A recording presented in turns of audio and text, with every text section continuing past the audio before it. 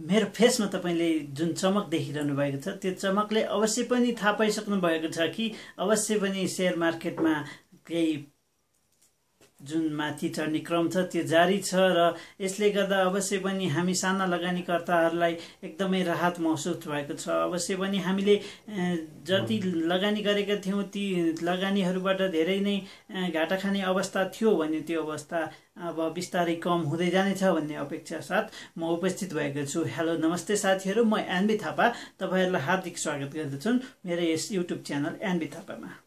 कृपया मेरो यस युट्युब च्यानल एनबी थापालाई सब्सक्राइब गर्न नबिर्सिनुहोला। सब्सक्राइबको लागि भिडियोको मुनि रहेको रातो बटनलाई क्लिक गरिदिनुहोला। साथै सँगै रहेको बेल आइकनलाई पनि दबाइदिनुहोला।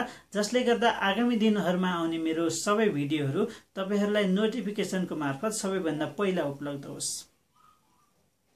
आजको यस प्रस्तुतिमा म तपाईँहरूलाई सेयर बजारको बारेमा बताउन गइरहेको छु कि सेयर बजार दुई तिन दिनदेखि लगातार बढ्दो क्रममा छ र अवश्य पनि यसले बुलिस ट्रेन्ड समात्ने छ भन्ने हामी अपेक्षा गर्न सक्छौँ र यो अवस्था भनेको तपाईँहरूमा तपाईँहरूसँग आफूसँग भएको पैसाले केही राम्रा कम्पनीहरूको सेयर किन्ने अवस्था अवस्था अथवा कम्पनी हो भनेर बुझ्छु म।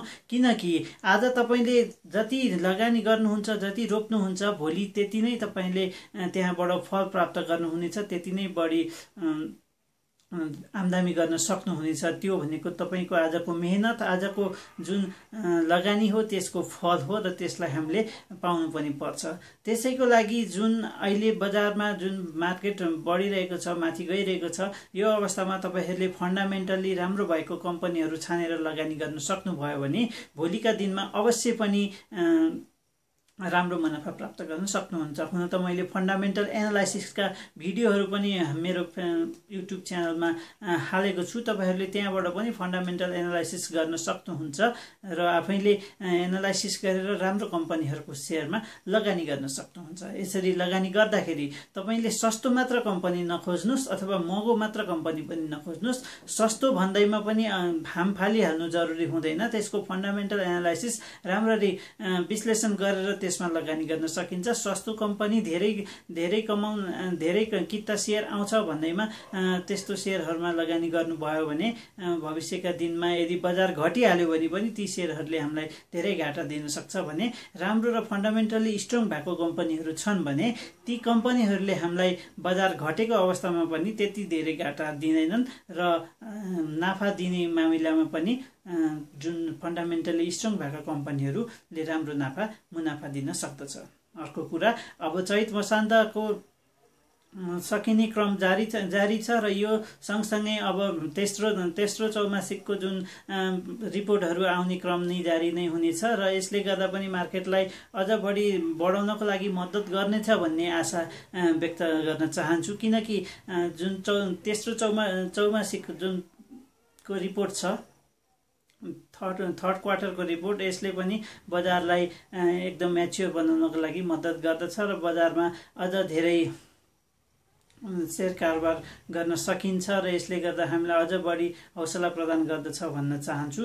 र विगतका दिनहरूमा लगभग लामै समयदेखि बजार घट्ने क्रम रोकिएको थिएन भने अहिले बजारमा केही राम्रा लक्षणहरू देखिएका छन्। हुन त अर्थमन्त्रीको श्वेत पत्र आए पश्चात पनि बजार केही बढ्न सकेको थिएन भने लगानीकर्ताहरूको जुन फोरम छ इन्भेस्टर इन्भेस्टर फोरमहरू छ यसले पनि अर्थमन्त्रीज्यूहरूलाई भेटेर विभिन्न आफ्ना गुनासाहरू राखिसके सकेका छन् र आगामी आगामी दिनमा अर्थ मन्त्रालय र राष्ट्र ब्याङ्क पनि सेयर बजार प्रति पोजिटिभ नै रहेको कुरा व्यक्त गरेको छ र यसले गर्दा पनि हामीलाई सेयर बजार सम्बन्धी पोजिटिभ थिङ्किङ राख्नु जरुरी हुन्छ र अवश्य पनि मार्जिन मार्जिन ल्यान्डिङको जुन कुराहरू छ जुन मार्जिन मार्जिनको लोन मार्जिन लोनको कुराहरू छ त्यसलाई पनि पोजिटिभली नै लिनु लिनुहुनेछ भन्ने आशा हामी व्यक्त गर्न चाहन्छौँ र आगामी दिनमा यसले पनि बजारलाई राम्रो प्रभाव पार्न सक्छ भन्ने आशा व्यक्त गर्न चाहन्छौँ। यसरी साथीहरू हामीले छान्ने कम्पनीहरू एकदमै राम्रो हुनु जरुरी हुन्छ।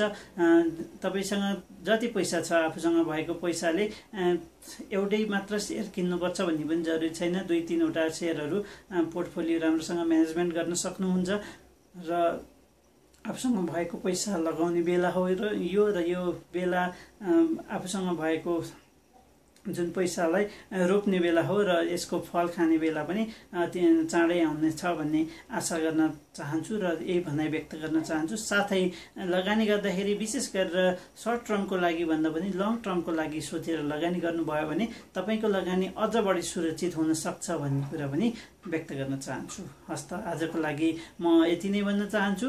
मेरो च्यानललाई सब्सक्राइब गरिदिन नबिर्सनुहोला। साथै मेरो फेसबुक पेज एनबी थापा पेजलाई पनि लाइक गरिदिन नभुल्नुहोला भन्दै मलाई धेरै धेरै माया गर्नुहुने मेरो सम्पूर्ण मित्रहरूलाई धेरै धेरै धन्यवाद भन्दै आजको लागि म बिदा हुन चाहन्छु। हस्त नमस्ते।